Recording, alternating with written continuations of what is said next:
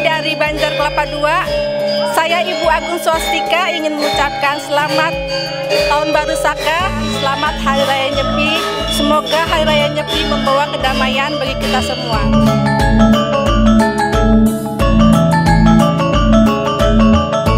Semoga di tahun baru ini bisa memberikan kedamaian antar umat beragama dan dan akan memberikan kedamaian kepada kita semua. Om शांति Shanti शांति ओम